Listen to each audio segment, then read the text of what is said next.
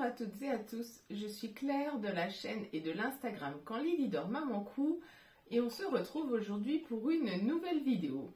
Je vous avais dit dans mes objectifs de début d'année que je souhaitais euh, découvrir de nouvelles marques, de nouvelles créatrices de patrons qui me faisaient envie. Et durant les soldes, il y a une des marques qui me tentait qui a fait des rabais, donc j'en ai profité pour acheter certains de ces patrons. Avant de vous parler de la marque en elle-même, on va faire un petit disclaimer. Donc ça va être la première vidéo, j'espère, d'une série sur différents euh, créateurs et créatrices de patrons.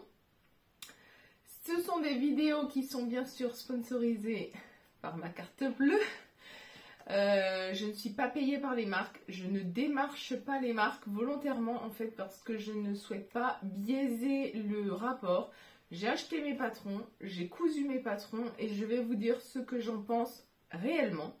Par contre, euh, je trouve ça assez correct de prévenir les marques avant de sortir cette vidéo. Donc aujourd'hui, je vais la filmer je vais la monter, je vais l'envoyer à la marque en lui disant voilà, j'ai testé vos patrons, je vais sortir une vidéo sur vos patrons tel jour. Si vous voulez la consulter, elle est là et je vous donne un droit de réponse. Je trouve que c'est quelque chose euh, d'indispensable, surtout si pour certains patrons j'ai des remarques à faire, qu'elles soient positives ou négatives. Je me dis que peut-être la marque aura envie sur certains points de se remettre en question ou d'apporter peut-être des, des précisions, euh, des points d'amélioration, etc. Donc je me dis que c'est bien de filmer, de monter et d'envoyer à la marque pour voir si elle, elle a un feedback à mettre. Euh, je ne fais pas ça non plus dans une démarche de recevoir des patrons gratuits, etc. Mon but étant vraiment de rester neutre. Je tiens à acheter mes patrons, mais à faire les choses en transparence. Donc sans plus attendre, la marque que j'ai testée ces dernières semaines, eh bien c'est la marque de Sophie Denis. Euh, je ne sais pas si vous connaissez Sophie Denis, c'est une euh, marque française. Sophie est à Paris, je crois. Alors, le gros plus qui m'a attiré vers sa marque, c'est que ses patrons sont proposés euh, sur une grande gamme de tailles. Ça va du 34 au 56 je ne dis pas de bêtises. Et surtout, ces patrons sont proposés en trois, en trois statures. 160, 168 et 176 cm. C'est quelque chose qui m'intéressait beaucoup parce que je couds principalement pour moi. Mais j'aime bien pour certaines amies, certaines personnes qui sont chères à mon cœur, euh, coudre un vêtement pour des occasions, pour des fêtes, pour des anniversaires. Et eh bien, dans mes copines, il y a des petites, des grandes, des minces, des fortes, il y a de toutes les morphologies. Et euh, cette marque m'a tirée, je me disais, ben voilà, ça, avec cette marque-là, si je suis ravie, si ça taille bien, je vais pouvoir beaucoup plus facilement euh, coudre pour mes copines sans me poser de questions de morphologie, d'ajustement, parce que je trouve qu'avec trois statures et autant de taille, normalement, on devrait être bon. Alors, en janvier, euh, Sophie a fait lors d'un week-end euh, des. Comment on dit ça? Des, offres sur un temps assez court. Elle n'a pas fait des soldes sur toute la période, elle a fait des offres sur un week-end assez court. Et donc je me suis acheté des patrons. Il y avait trois patrons qui me plaisaient, que je voulais absolument m'acheter. Et en fait avec les offres qu'elle a fait, j'ai pu avoir quatre patrons pour le prix de trois. Donc j'ai acheté quatre patrons pour un total de 37,70 euros. Je suis sur ma tablette, sur ma facture. Donc, j'ai acheté, s'il veut bien charger, j'ai acheté la robe Brianna, la jupe Bonnie, le pantalon Walter et la robe pull Sam. C'était quatre patrons qui me tentaient énormément. En fait, j'hésitais au niveau de la robe Sam parce que c'est quand même une robe simple. Mais ce genre de robe simple, il faut qu'elles aient une coupe vraiment bien travaillée pour que ça tombe bien et que ça ne fasse pas sac à patate. Donc, le premier patron que j'ai voulu faire, c'est la jupe Bonnie.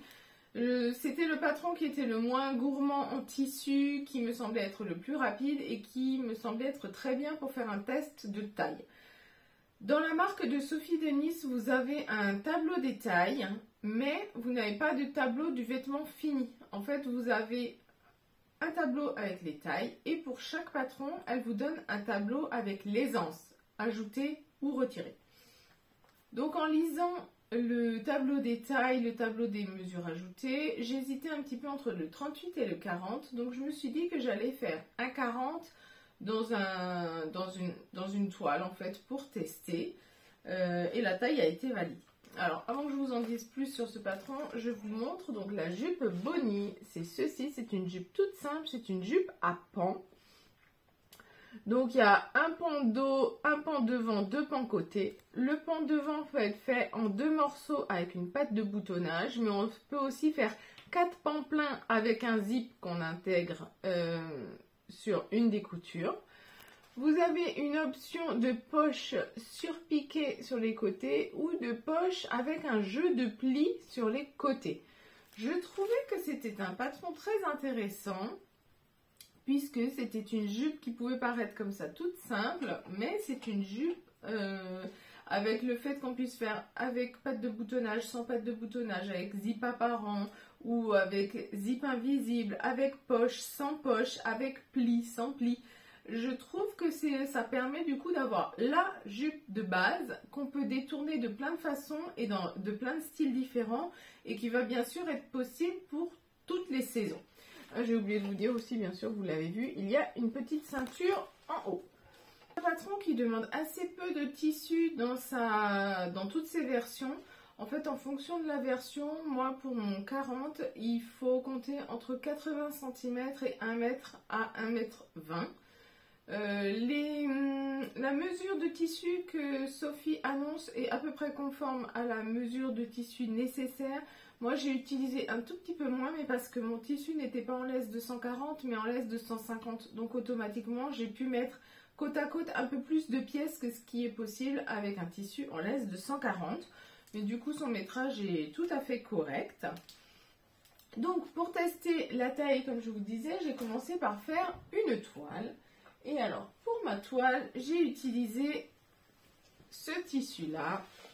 C'est un tissu euh, qui plus blanc et bleu que j'avais trouvé en recyclerie. Euh, dans la recyclerie, là, à côté de la déchetterie chez moi. J'avais fait dedans une euh, salopette pour Lily, la salopette Sacha de la Maison Victor. Et il me restait un tout petit coupon. Je m'étais gardée en me disant je me ferai un short ou quelque chose comme ça. Et bien non, finalement, c'est une mini-jupe. Donc là voici, là j'ai fait la version toute simple, sans poche, sans rien, juste boutonnée à l'avant. Vous voyez, vous avez les deux pans sur les côtés qui reviennent là, donc qui font tout le côté. Les deux pans devant pour fermer et le pan dos. Et puis la ceinture. Jupe que j'ai trouvé extrêmement simple à monter. Il y a des crans de montage euh, largement suffisants et euh, bien placés pour que ce soit très fluide les marges de couture sont incluses et alors sur le coup j'ai été étonnée parce qu'elles étaient de 1,5 cm mais en fait Sophie propose trois modes d'assemblage différents, couture euh, anglaise, couture rabattue ou couture ouverte fer, toute simple. Moi j'ai fait des coutures surjetées et ouvertes au fer toutes simples. j'ai pas l'habitude d'avoir des marges aussi grandes mais ça ne m'a pas gênée. Au niveau de la finition intérieure, donc du coup, vous voyez, c'est très propre, c'est surjeté.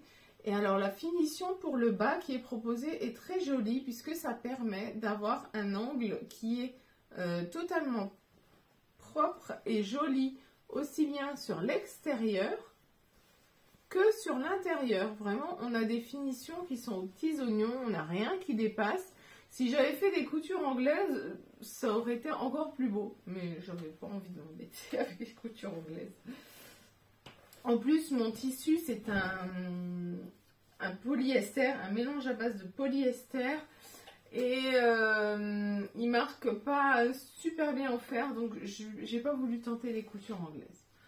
Au niveau des boutons, j'ai utilisé des petits boutons bleus qui sont un petit peu texturés. Il y a comme des petites rainures là sur le côté. Euh, je les avais trouvés ces boutons chez Nose. Euh, une fois, ils vendaient des, des, tubes comme ça de 50 boutons à 50 centimes. Donc, je trouvais que ça matchait parfaitement bien. Ma machine n'a pas trop fait de bêtises pour les boutonnières. J'ai trouvé que la boutonnière aussi était très bien expliquée. Elle expliquait bien où partir et comment partir au niveau du début de la boutonnière et du, de la couture du bouton pour avoir justement le bouton et la boutonnière centrés au bon endroit. Euh, c'était la première fois dans un patron que je voyais autant de détails et d'explications pour une boutonnière. Alors la boutonnière, ça peut sembler être un détail, mais en fait non, c'est le détail qui change tout. Que la boutonnière bien placée ou pas bien placée, ça vous fait un 8 ou pas. Surtout sur des vêtements ajustés comme euh, une mini-jupe cintrée comme ça. Euh, je l'aime beaucoup. Je l'ai porté hier à l'anniversaire de ma nièce. Je ne sais pas si vous verrez, il y a une belle tache de... de je ne sais pas quoi là. J'ai dû m'asseoir sur euh, un enfant qui a dû laisser traîner du chocolat. Bref, euh, la finition de la ceinture intérieure, pareil, est très propre. Enfin, vraiment, j'ai beaucoup aimé.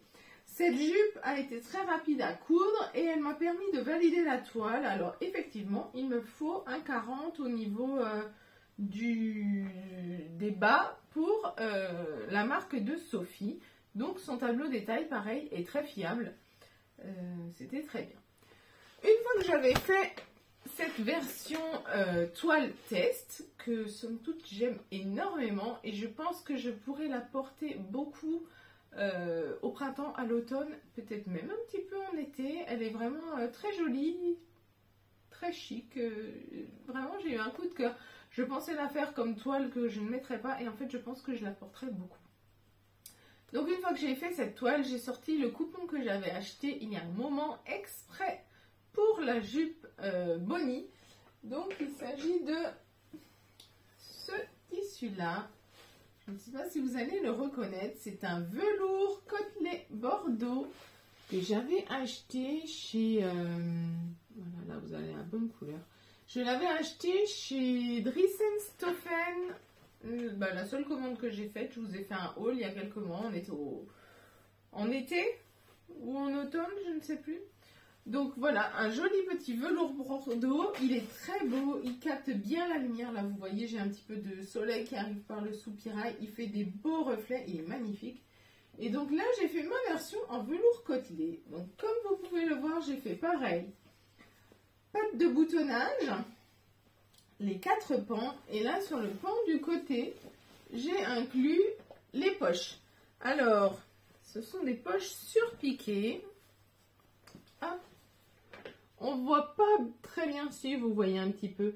Euh, les surpiqûres sur de velours se perdent un peu dans le velours, donc c'est un peu dommage. Euh, ça se verra mieux, à mon avis, ça se mettra plus en avant euh, sur des tissus. par exemple, si je refais sur un jean ou sur une toile unie avec une surpiqûre contrastante, ça sera beaucoup plus joli. Là, la texture du velours fait qu'on perd un petit peu ce détail. Quand j'ai cousu les poches, je me suis dit, vu l'ampleur des poches, je me suis dit, oh mon dieu, ça va bailler, ça va tomber. Et en fait, non. Le fit de la jupe fait que les, poches ne bougent pas du tout. Et franchement, sur une mini-jupe comme ça, Déjà, les poches donnent un look un peu, euh, un peu plus rock, un peu plus actuel. Et en plus, c'est extrêmement pratique. Moi, j'adore avoir des poches. Je mets toujours 36 000 trucs dans mes poches. De toute façon, avec les enfants, euh, c'est quand même très pratique d'avoir des poches. Donc, je suis ravie puisque ce sont de belles, grandes, vraies poches qui donnent un style et un look à la jupe et qui sont pratiques et qui ne baillent pas. Donc, c'est parfait. Au niveau des finitions, eh ben, on est toujours pareil. Hein. J'ai fait exactement pareil. Des euh, coutures euh, rabattues surjetées. La finition au bas pour les angles est toujours aussi belle. La finition des poches ne se voit pas puisque c'est pris dans l'ourlet.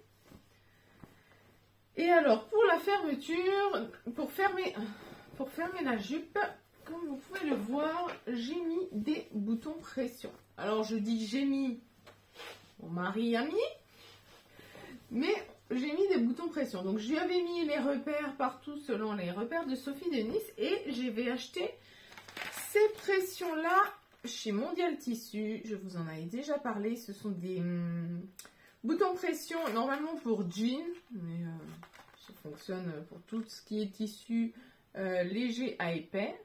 Donc c'est bouton pression jeans. Alors ils les ont en deux couleurs, en, en noir comme ça ou en argenté. Donc là, vu le tissu, j'avais choisi les noirs. Et ensuite, vous avez tout un kit de matrices pour, euh, pour les frapper.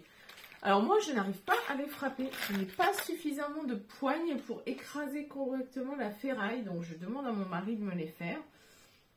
Mais je trouve que ces boutons comme ça, métalliques, pression euh, sur la jupe, ça fait vraiment un look très... Euh, ouais, très rock quand je les mets là avec mes petites bottines, un gros pull, c'est parfait. J'aime beaucoup, beaucoup cette jupe. Les boutons pression, comme vous le voyez, sont faciles à ouvrir et à fermer. Ça fonctionne très bien, mais il faut taper assez.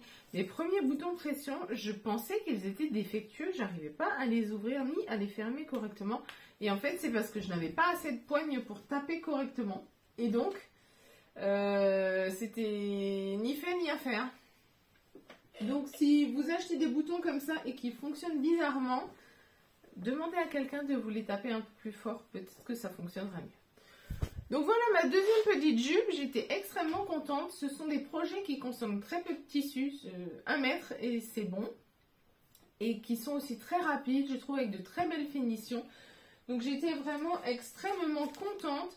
Je pense déjà à une version pour cet été. J'ai un coupon qui est très graphique, un peu ethnique, que j'ai depuis des années d'un tissu qui doit être une viscose ou quelque chose comme ça, ou un polyester viscose. Et euh, je pense que ça, ce sera le, projet parfait. Par contre, j'aimerais la faire cette fois-ci avec juste quatre pans et un zip invisible. Donc, euh, on va voir. Mais euh, clairement, je trouve que c'est un excellent basique puisque avec toutes les déclinaisons possibles, ça en fait une jupe pour toute l'année, pour toutes les saisons, pour tout. Le fait qu'il y ait trois statures, c'est la première fois que ça m'arrive. J'ai pris donc la stature 168 en, sachant que je fais 100, 1m70, donc 2 cm de plus.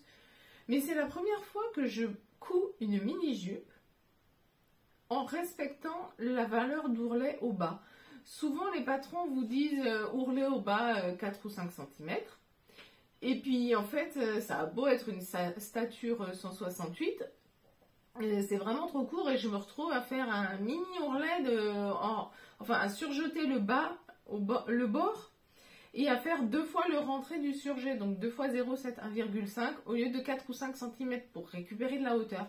Et là, c'est la première fois que j'ai vraiment une mini jupe qui tombe à la hauteur mini jupe, donc qui est courte mais pas trop courte. Je peux me pencher, je peux courir après les enfants, on verra pas mes fesses. Je trouve que c'est vraiment très bien. Donc première jupe, je suis très contente. Euh, elle taille bien, c'est parfait. Le pas à pas était très bien expliqué, j'étais ravie.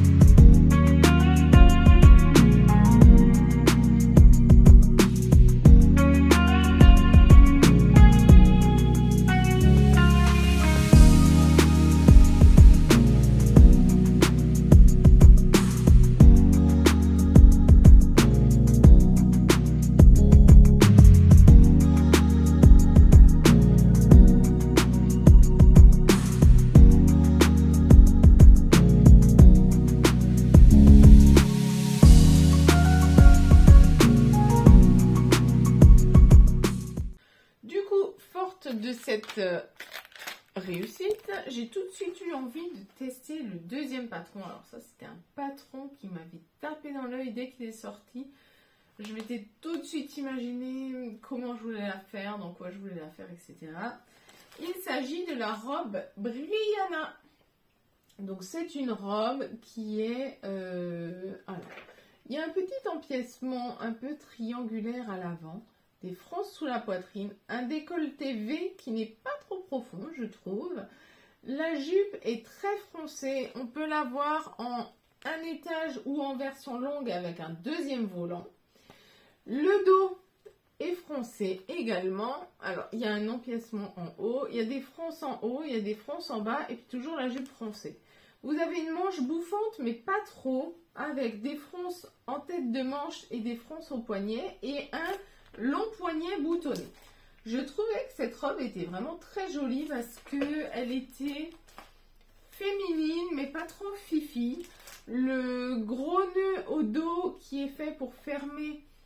Et pareil, c'est pas un nœud qui fait euh, adolescente. Je sais pas comment dire. Oui, ça, fait fifi des fois. Non, là, je trouvais qu'elle était vraiment parfaite. Et puis, euh, dans ce qu'elle montrait sur son site, il y avait deux longueurs. Donc, une longueur courte qui est pareil, un peu au-dessus du genou, courte mais pas trop. Je trouvais que la longueur était parfaite. Et une longueur longue, alors qui va jusque mi-mollet, puisque c'est plutôt une robe d'hiver qui est à manches longues. Et pareil, avec des bottes, je trouvais que c'était très joli. C'est une robe qui est pensée pour être intégralement doublée. Donc pareil, c'est une vraie bonne robe d'hiver parce que une robe d'hiver, si vous la faites l'extérieur en viscose mais pas doublée, enfin ça tient pas chaud, ça ne va pas. Donc je trouvais que vraiment le combo était parfait. Je pensais me la faire dans un velours vert, euh, puisque j'avais un coupon de 3, de 3 mètres de velours vert un peu stretch. Et en fait, euh, je n'avais pas bien lu le livret. Euh, Sophie explique bien qu'il faut 4 mètres de tissu pour faire cette robe, ou 4 mètres 10 ou 4 mètres 20, enfin il faut 4 mètres. Et moi, dans ma tête, comme c'était une robe doublée, il fallait 4 mètres pour faire l'extérieur et la doublure. Et en fait, non, non, non. Il faut 4 mètres de tissu extérieur et euh, quasiment autant de doublure. Donc finalement, mon coupon de 3 mètres n'a pas suffi. J'ai essayé, j'ai présenté mes pièces, j'ai joué à Tetris. Et euh, non, c'était pas possible, ça ne rentrait pas. Donc j'ai cherché un tissu alternatif. Et euh, j'ai fini par jeter mon dévolu sur une toile.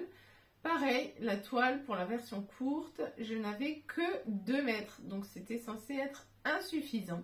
Donc là, pareil, j'ai joué à Tetris et j'ai finalement réussi à rentrer ma robe dans 2 mètres de tissu. Mais avec pas mal de modifications, je vais vous montrer tout ça. Donc, voici ma... Donc, voici ma robe Brianna comme ceci. Voilà, elle est longue et puis voilà. Donc, elle est faite dans un, dans une toile euh, coton polyester violette. Le soleil c'est bien, mais ça gêne un petit peu. Vous voyez, elle est exactement comme ceci. Elle est violette. C'est un polyester un peu lourd.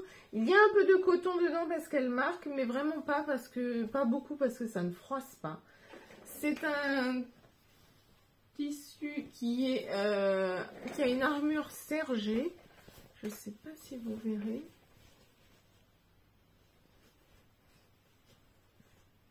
Vous voyez, il y a une armure sergée. Donc c'est un peu comme un twill, c'est vraiment bien pour euh, l'automne-l'hiver. Il a un beau tombé, fluide et lourd. C'était vraiment le, type de tissu avec le type de tombé qui était pile poil ce qu'il fallait. Donc, j'ai fait plusieurs modifications pour que ma robe rentre dans mon coupon de 2 mètres. Déjà, je ne l'ai pas doublé. Euh, je voulais plus une version printanière donc la doubler, ça aurait fait que j'aurais eu trop chaud, donc je me suis dit je vais la faire sans la doubler. Ensuite, seconde modification, j'ai coupé mon panneau du dos en deux en fait. Je n'arrivais pas, c'était vraiment le dos qui coincait, j'arrivais pas à le faire rentrer en le mettant au pli. Donc je l'ai mis sur un reste sur un côté et j'ai coupé mon dos en deux morceaux et je l'ai cousu au milieu. Alors, est-ce que vous verrez la couture d'assemblage? Du dos Elle est, elle est ici. Alors l'avantage c'est que comme le dos est totalement froncé, la jupe est totalement froncée, et par-dessus ensuite on vient encore mettre la ceinture pour froncer, je trouve que ça se voit pas du tout. J'ai porté cette robe pour les 3 ans d'Elio. Et euh, ça n'a choqué personne. Bon, donc j'ai été interrompue, donc j'en étais à vous expliquer euh, les modifications que j'avais faites et je vous disais que au niveau de l'empiècement sous poitrine, comme moi je n'avais pas doublé la robe, j'ai euh, par contre du coup doublé cet empiècement pour que ça fasse bah, comme un burrito en fait. Et du coup, si je vous mets la robe sur l'envers, voilà, si je vous mets ma robe sur l'envers, vous avez vraiment euh, bah, poitrine qui est euh, en mode burrito. Donc c'est très bien, j'ai aucune, aucune couture qui vient frotter là au niveau du ventre, c'est assez désagréable sinon. Donc le devant est tout beau, tout propre. Hein, euh, et, le, et au dos, j'ai quelques surjets. Les coutures sont surjetées, rabattues. Donc ça, c'est nickel. Au niveau hum, du, montage, je trouvais que le livret était très clair. C'était bien expliqué. Euh, il n'y avait pas de difficulté particulière. Tout s'est bien déroulé. La seule chose que j'ai où j'ai trouvé qu'il manquait d'écran de montage, c'est quand on monte la jupe. En fait, quand on monte la jupe à la ceinture, la jupe est constituée de trois pans. Vous avez, euh, un pan là sur le côté. Voilà, vous avez un pan là sur le côté, un pan au milieu et de nouveau un pan de l'autre côté. Et euh, elle nous fait donc assembler les six pans et puis assembler les six pans à la robe en entier. Et alors, j'ai trouvé qu'on a des repères pour les côtés, mais on n'a pas de repères au niveau de l'empiècement sous poitrine pour savoir où faire tomber les, coutures des empiècements devant. Il faut froncer tout ça comme si c'était un rectangle. J'ai trouvé que c'était euh, totalement faisable, mais ça m'aurait facilité la tâche s'il y avait eu des repères pour euh, les endroits où il faut mettre les coutures des pans. Comme ça, j'aurais pu épingler au niveau des bouts, épingler au niveau des repères et ensuite mettre mes, mes fronces de façon régulière. Bon, c'est de l'ordre du détail, mais si elle revient sur son euh, patron, je pense qu'elle pourrait rajouter deux repères comme ça, ce serait vraiment sympa. Euh, donc comme je vous disais, moi j'ai fait mon dos du coup en deux morceaux. Bah là vous le voyez bien, mon dos il est en deux morceaux, cousu, surjeté, assemblé ensemble. Une fois porté, ça ne se voit plus du tout. Euh, mon empiècement dos, pareil, je l'ai, euh, j'ai couché les coutures vers le haut et puis j'ai surpiqué pour pas que ça bouge. Qu'est-ce que j'ai fait? Au niveau des poignets, c'est très joli. Ce petit poignet là, il est, il est bien serré, il est bien ajusté. Avec les trois petits boutons, je trouve que c'est très beau. Alors pareil pour les boutons, là j'ai pris des boutons un peu, euh, un peu marron comme ça. Euh, pareil, ce sont des boutons que j'ai achetés chez Nose. Toujours dans un de ces fameux tubes à 50 centimes. La fois où j'y suis allée, ils en avaient tout plein. Et j'avais pris euh, eh bien, un tube de chaque couleur, hein, bien sûr, pour avoir euh, du stock de boutons. Alors, les poignets, moi je les passe sans souci, mais j'ai un tout petit poignet, donc je passe sans souci. Je pense que si vous avez un poignet un peu plus fort, il faudra les défaire et les déboutonner et les reboutonner pour euh, enfiler et enlever la robe. Mais c'est trois boutons, ça va. Alors, comme je vous disais, moi, je n'ai pas doublé la robe, donc j'ai fait une petite modification. C'est qu'au niveau du col, du coup, pour finir le col, j'ai posé un biais. Donc, dans mes chutes de tissu, j'ai coupé un biais. Euh, j'ai posé le biais sur l'extérieur cousu à 1 cm et ensuite je l'ai rabattu sur l'intérieur et je l'ai fini avec une couture invisible à la main. Voilà, tout du long. Euh, de dehors, on voit pas les points ou à peine. Enfin, il faut vraiment avoir le nez sur décolleté pour les voir. Donc c'est parfait. Au niveau du bas, on a pareil, une finition qui est très jolie avec ce soleil, il nous enquiquine. Hein. avec un double, un rentrée. Un double rentrée et une petite piqûre, toute simple. Donc euh, pareil, j'ai trouvé que c'était des finitions qui sont très jolies. La robe est aussi belle dehors que dedans. Euh, moi, j'ai doublé mon empiècement, donc je vous disais pour pas avoir de couture apparente. Mais en fait, si vous faites la robe comme elle est décrite, comme la robe est doublée, vous n'avez pas de couture non plus contre la peau. Hein. Voilà, moi c'était une adaptation pour moi. Les liens pour faire les nœuds se finissent en pointe et ils ont vraiment la bonne longueur pour faire un joli nœud derrière. Du coup, c'est une robe qui comme ça paraît très ample et euh, qu'on vient enfiler comme ça sans, sans zip, sans ceinture, sans rien. Et puis qu'on vient serrer après avec les liens. Je trouve que c'est super bien, cette taille empire, ce fait que ce soit noué derrière, c'est vraiment euh, raclette compatible, grossesse compatible, c'est vraiment génial. Ce patron a un tombé qui est dingue, je, l'adore. Et euh, j'ai très très hâte de me faire une version longue. Je pense d'ailleurs déjà à une version qui sera de nouveau un petit peu modifiée, mais pour cet été, parce que euh, vraiment elle a un rendu de fou. Mais du coup, il faut que je réfléchisse. Euh, je voudrais me la faire en robe longue pour cet été. Il faut que je réfléchisse si j'allonge les deux pans ou si j'en rajoute un troisième pour que la robe maille euh, eh bien jusqu'aux chevilles. Parce que autant je trouve qu'une robe longue à deux volants qui s'arrête mi-mollet pour l'hiver avec des bottes, c'est extrêmement élégant. Mais pour l'été, une robe mi-mollet, j'ai peur que ça fasse euh, bizarre. Donc je pense que jusqu'au pied, ce sera encore mieux.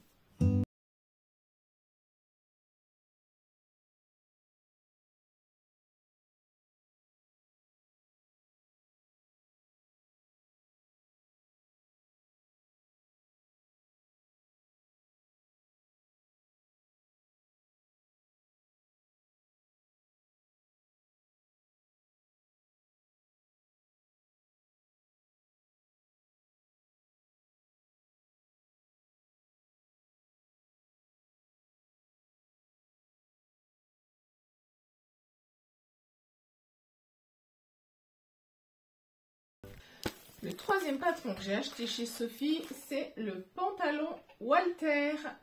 C'est un pantalon qui est coupe bootcut, je crois qu'on dit. Moi, je dis pas de def. Une enfant des... J'étais ado dans les années 2000, j'avais les pas de def, taille basse. Euh, bref, vous voyez le truc là, avec le crop top façon Britney Spears. Donc moi, c'est un pas de def. Euh, je l'aime beaucoup parce que c'est un vrai pas de def. Dernièrement, j'avais vu que cette mode revenait pour mon plus grand bonheur, mais que souvent les créateurs, créatrices étaient très timides sur la pâte def. Ils faisaient une pâte def euh, pas très ample. Moi, j'ai souvenir au lycée d'avoir eu des pâtes def qui étaient tellement grandes qu'elles me recouvraient totalement la chaussure. Euh, on portait des buffalo à l'époque, là, chaussures avec des flammes, là. Et euh, ça me recouvrait intégralement le pied. Si je me positionnais bien le pantalon, on ne voyait plus les chaussures. Donc j'avais vraiment envie de retrouver cet effet-là. Et alors, il est quand même un peu moindre, mais c'est un vrai pas de def qui est vraiment joli. Donc pantalon pas de def avec des petites euh, poches plaquées à l'avant et à l'arrière une braguette montée avec un zip une ceinture en forme. Ce n'est pas une ceinture droite, c'est vraiment une ceinture en forme qui est euh, arrondie. donc là, pareil, j'ai continué euh, à regarder le tableau euh, des mesures du vêtement fini. Et alors, c'est un pantalon, ça j'ai bien aimé. Elle explique bien qu'on peut le faire avec un tissu qui ne contient pas d'élastane dans sa taille habituelle ou alors, si on prend un tissu qui contient de l'élastane, de sous-tailler d'une taille. Et donc, c'est ce que j'ai fait. J'ai utilisé un tissu avec de l'élastane et je me suis coupé un 38. Donc, voici ma version. Voici mon pantalon. Donc, mes petites poches plaquées devant. Mes petites poches plaquées au dos. Et alors, le, la jambe, la jambe, la jambe qui finit par être euh, bien grande au bout. C'est un pantalon qui est bien ajusté au niveau des cuisses, mais pas trop moulant, et plus évasé au niveau des côtés. J'ai beaucoup aimé le coudre. Il est vraiment super bien. Euh, il tombe très bien. Alors, les repères, comme d'habitude, sont suffisants et euh, placés au bon endroit. Donc, je n'ai pas eu de difficulté de réalisation à ce niveau-là. Par contre, euh, alors, sa méthode de montage de la braguette, j'en suis pas à ma première braguette, loin de là. J'ai déjà fait beaucoup de pantalons de jean avec des surpiqûres de toutes sortes, etc. Mais alors, sa façon à elle d'expliquer la braguette, j'ai rien compris. Euh, j'ai suivi, mais c'était vraiment, c'est pas ma logique de la couture, donc c'était un peu compliqué. Donc je trouve que ici au bal de braguette, j'ai comme un petit, euh, comme un petit pli. J'ai pas réussi à faire mieux. Pour mes prochaines versions, je ne suivrai pas son pas à pas de la braguette, mais je suivrai mon pas à pas euh, habituel que j'aime bien. Donc soit le pantalon Etel de la maison Victor, soit le douce de l'Americana Pattern, parce que là, sa logique de la braguette n'est vraiment pas du tout ma logique de la braguette, et euh, j'ai vraiment, euh, je me suis accrochée, mais c'était difficile. Donc pour fermer le pantalon, j'ai posé toujours pareil un pantalon, un bouton pression de chez Mondial Tissu. Là, c'est moi qui l'ai posé, donc il n'est pas assez tapé. Donc il faut que je chope mon mari quand il rentre du boulot ce soir. Euh, ensuite, on a un zip de, je ne sais plus, 12 ou 15 cm avec pont sous pont. Euh, c'est vraiment, il, est très très bien expliqué. Hein. Donc vous avez le sous-pont à l'intérieur, c'est très propre. Euh, tout est nickel. Mais sa façon d'expliquer, c'est pas ma logique. Euh, la prochaine fois, je m'embêterai pas. Je ferai euh, la technique que je sais faire et qui est bien.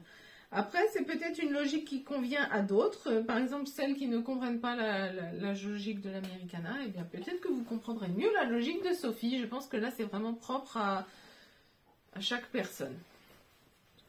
La ceinture est vraiment euh, nickel. C'est une ceinture, comme je vous disais, avec en forme. Donc, elle tombe parfaitement bien. Ça plaque très bien au dos. C'est une taille haute, mais pas trop haute. Moi, elle me tombe juste en dessous du nombril. Donc, je trouve ça extrêmement bien. Alors, j'ai monté le pantalon. Donc oui, j'ai coupé mon pantalon, j'ai monté mon pantalon et avant de monter la ceinture, je l'ai essayé. Et là, euh, j'ai eu un petit désespoir, c'est que je pense que mon pantalon, mon tissu est vraiment, un endroit où il n'y a pas de poche, mon tissu est vraiment très très stretch. Et malgré le fait d'avoir sous-taillé, je trouvais que c'était un petit peu trop grand.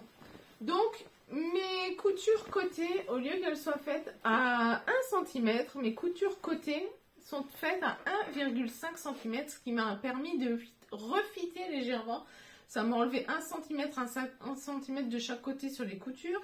Et c'est parfait, c'est beaucoup plus ajusté. Je trouve que ça tombe très bien. Mais là, je pense que c'est lié vraiment à l'élasticité de mon tissu. Là, si je vous montre la jambe en bas, mon tissu, il est vraiment très, très stretch. Donc, euh, je pense que ça a un impact. Euh, au niveau des poches plaquées, pareil, j'ai eu un petit doute quand j'ai fait les poches plaquées.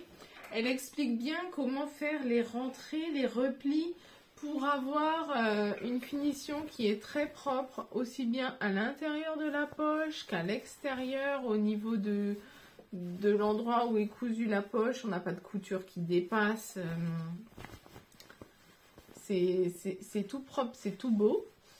Euh, mais à un endroit, elle parle de 2 cm qu'il faut préplier à 2 cm du bord, mais en fait si on préplie tout à 2 cm, la poche qu'on obtient est beaucoup plus petite que le, que le gabarit qui est disponible euh, sur le patron. Donc en fait il faut faire 2 cm que pour le haut de la poche et 1 cm pour le reste. Pareil, c'est un détail, euh, on s'en rend vite compte parce qu'en fait il y, a un gabarit qui est... Euh, qui est sur le patron que moi j'avais décalqué à la craie directement sur mon pantalon pour avoir l'emplacement exact de la poche. Et là, en, pré-repassant ma première poche à 2 cm, je me suis dit, hum, ça va pas, c'est trop petit. Donc j'ai fait le haut à 2 cm et les pourtours à 1 cm. Et là, c'était juste. Mais du coup, dans son livret de montage, il y a une petite coquille. Bon, c'est pas grave. Peut-être qu'elle pourra le remplacer si elle passe par là et qu'elle voit cette vidéo. Euh, voilà, alors ce que j'ai beaucoup aimé, c'est que le bas du pantalon, pas de def, c'est pas une forme euh, classique, je sais pas si vous allez voir, mais en fait, le, le bas du pantalon, à l'arrière, il est un peu comme ça, et à l'avant, il est un peu comme ça pour vraiment se poser sur la chaussure.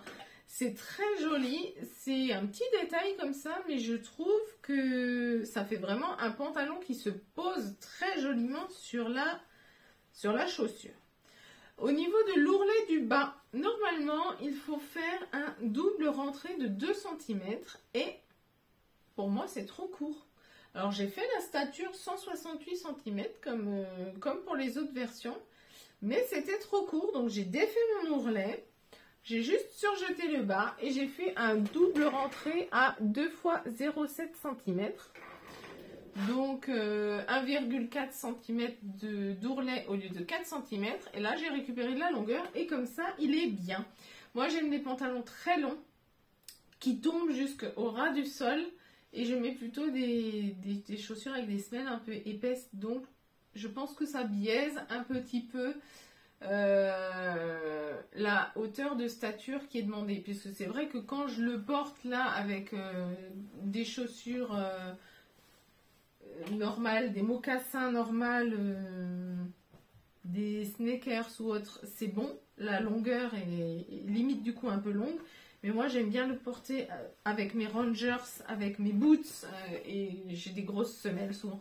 Donc j'ai eu besoin d'allonger un petit peu la longueur du pantalon pour que vraiment il soit bien long avec mes grosses mes grosses bottes. Voilà, donc j'aime énormément la coupe de ce pantalon. Il est ajusté mais pas trop moulant, juste ce qu'il faut au niveau des fesses, au niveau des cuisses, c'est très joli. L'évasé au niveau de la pâte def est vraiment bien, c'est un vrai évasé, c'est une vraie pâte def. Si vous aimez les pâtes def, il, vraiment, il va vous plaire. Euh, je l'ai beaucoup aimé et du coup le fait d'avoir bien aimé ce pantalon, hormis la braguette, mais là je me débrouillerai avec un autre, euh, avec un autre tuto la prochaine fois, ça me donne du coup très envie de tester le pantalon Fergus qu'elle a. Parce que du coup, Fergus, elle le propose en pantalon et en short. Et euh, bon, je pense que je vais craquer prochainement.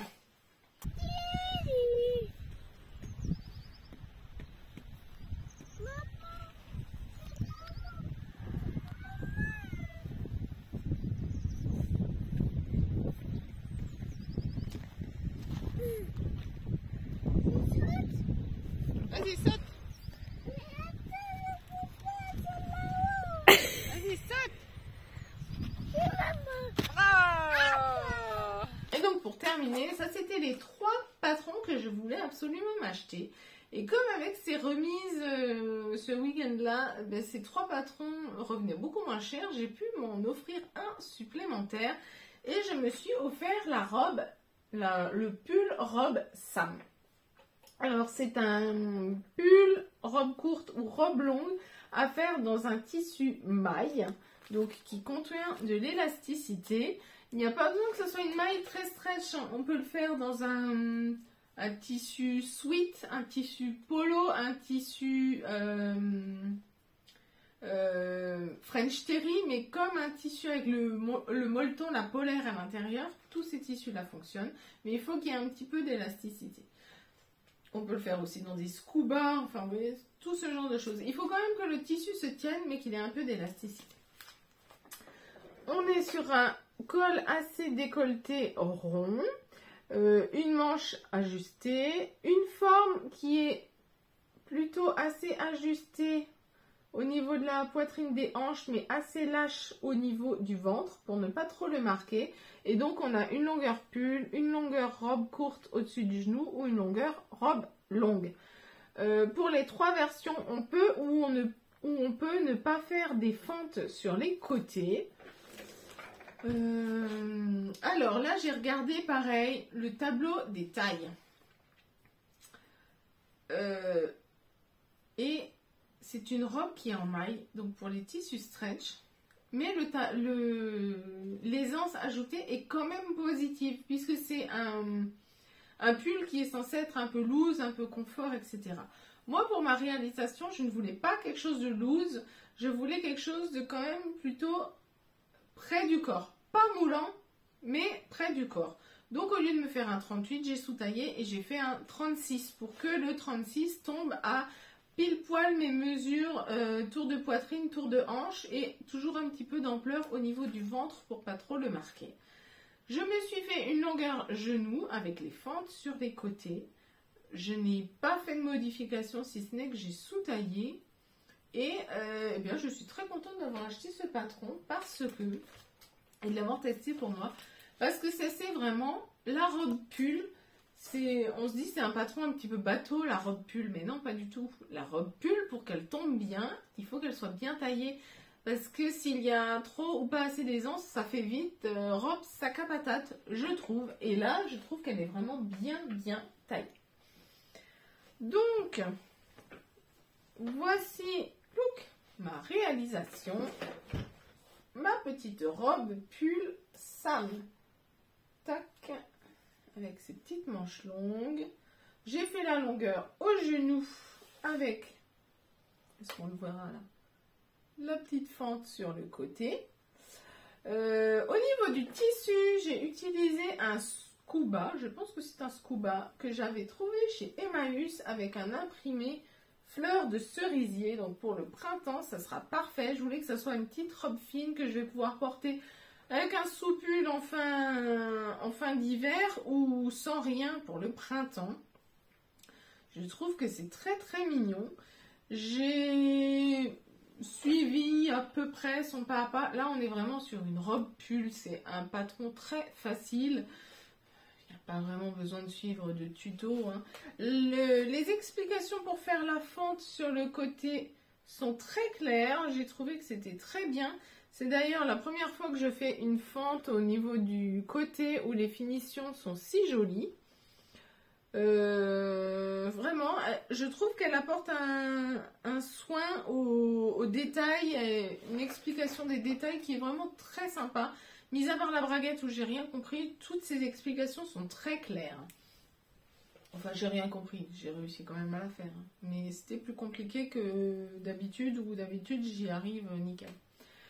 Au niveau de l'encolure, elle vous fait, euh, je sais pas si vous verrez, elle vous fait thermocoller une bande de 1 cm ou 1 cm et demi, je ne sais plus, et faire un simple rentré sur piqué.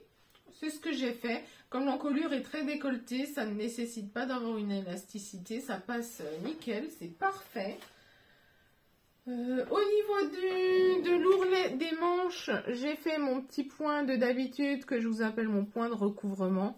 Alors vous êtes plusieurs à m'avoir demandé la dernière fois. J'ai fait une vidéo tuto sur ma chaîne spécifique sur ce point là pour faire euh, les ourlets de manches qui restent stretch. Je ne sais pas si c'est une robe que je vais beaucoup porter qui va durer dans le temps parce que voilà, ce tissu a un défaut, c'est que quand on les tire, il blanchit. L'intérieur est blanc et quand on les tire, clairement, il blanchit. Donc là, ça va parce que c'est une robe qui est ajustée mais pas moulante, donc ça ne sert pas. Mais je ne sais pas au niveau des lavages, comment est-ce qu'il va vieillir? Est-ce que euh, est-ce qu'il va vite euh, perdre ses couleurs blanchies ou est-ce que c'est une impression digitale et ça tiendra quand même dans le temps? On verra. Mais c'était un test, euh, c'est une couture super rapide. En une après-midi, c'était réglé, impression, découpe, scotchage, découpage du tissu, tout. En une après-midi, c'était fait. Donc euh, vraiment, c'est un patron qui est super. Et ça, je me dis, c'est quelque chose que j'ai vraiment très envie de coudre pour la marraine de mon fils. Elle, porte beaucoup de robes. Elle aime bien les robes pulls comme ça, les coupes un peu, un peu hum, féminines, mais pas trop moulantes. Donc je me dis que ça, j'ai très très très envie de lui en faire une pour son anniversaire, peut-être, on verra. Mais euh, c'est un super basique. Et je me dis, pareil, c'est une très bonne base parce que là, elle fait pull, robe longue, robe courte, mais rien n'empêche de prendre la base et de la faire sans manches pour se faire une, une robe débardeur pour l'été. Hein.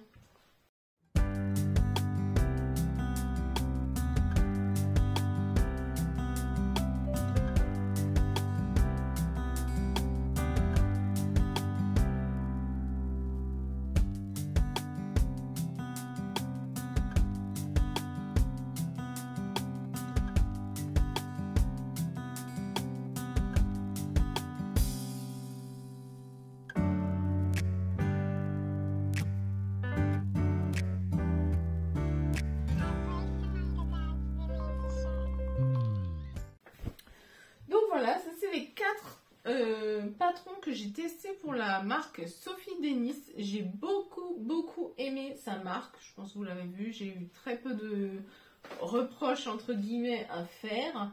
On est sur l'ordre du détail. Je trouve que ces pas à pas sont bien expliqués. Euh, les méthodes de couture sont bien détaillées. J'ai bien aimé parce que quand on télécharge le patron, on a accès à un livret soit à regarder sur l'ordinateur, soit qu'on peut mettre sur le téléphone. Euh, moi, comme vous le savez, à l'atelier, je n'ai pas de réseau internet ou quasiment pas. Donc tout ce qui est les marques qui proposent des pas à pas vidéo pour monter les vêtements et tout, c'est bien si c'est un plus, mais ce n'est pas suffisant pour moi s'il n'y a que ça. Et là, le livret, clairement, se suffit à lui-même. Il n'y a pas besoin d'aller encore sur Internet regarder une vidéo pour les techniques. C'est vraiment très complet. J'ai beaucoup aimé. Euh, maintenant, j'attends encore de tester cette marque en faisant peut-être un ou deux vêtements euh, pour euh, des copines à moi, plus grandes ou plus petites. Mais vraiment, je trouve que euh, tout tombe très bien. J'ai été extrêmement ravie de, tester cette marque et je pense que je vais suivre avec grand intérêt les futures sorties qu'elle fera parce que là, je sais que vraiment tout tombe très bien. Je trouve que ces patrons sont des bons, pas basiques, mais sont de très bons patrons puisque c'est des coupes qui sont vraiment sympas et qu'on peut décliner facilement dans plein de façons différentes. La jupe Bonnie avec bouton sans bouton, on peut en faire une multitude, on verra même pas qu'on est parti du même patron. La robe Brianna euh, en version courte, en version longue, avec manche, sans manche, en la doublant, sans la doublant, sans la doubler, pareil, là je pense aussi que je vais m'en faire de multiples versions. Je pense même une fois m'en faire une version avec un des pans que je ne coudrais pas pour faire une fente à l'avant. Enfin voilà. Le seul patron finalement qui est moins versatile, c'est le, pantalon Walter, pour lequel il va être difficile de faire des ajustements Pareil, la robe Sam, euh, c'est une robe euh, qui peut faire pull, robe longue, robe courte. Je pense qu'on peut la décliner en robe d'été pour une maille. Finalement, le seul patron qui n'aura qu'une version, je pense, c'est le pantalon euh, Walter. Mais là, c'était un vrai coup de cœur, la pâte def. J'en rêvais et je suis vraiment contente de me l'être faite. J'espère que cette vidéo vous aura plu, vous aura intéressé. Si vous êtes encore là, n'oubliez pas de me mettre un petit commentaire, un petit j'aime, de vous abonner si ce n'est pas encore fait. J'espère que ce test de patron vous a plu, vous a inspiré. Dites-moi si vous, vous connaissiez cette marque, si ça vous donne envie de la découvrir ou non. Et puis, euh, on se dit à très bientôt pour de nouvelles aventures couture. À bientôt